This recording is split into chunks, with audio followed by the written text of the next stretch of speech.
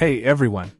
Today, let's dive into the Motorola Moto G10, an international model with some intriguing features.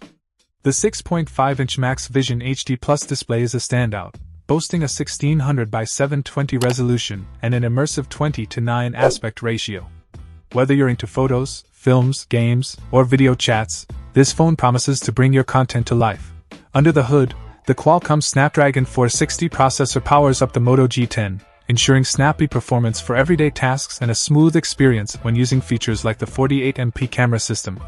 Speaking of cameras, the rear setup includes a 48MP main shooter, an 8MP ultra-wide lens, a 2MP depth sensor, and a 2MP macro lens.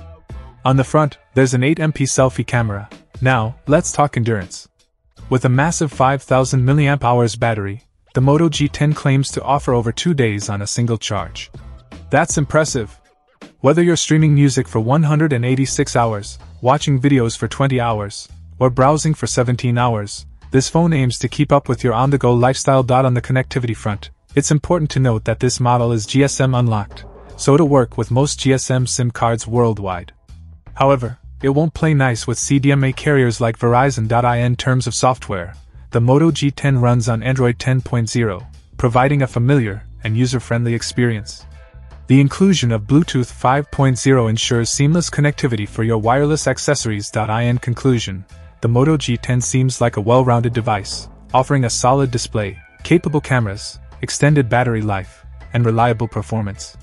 If you're in the market for a budget friendly, unlocked smartphone, this one might be worth considering. Check out the video description for updated price. And thank you for watching this video.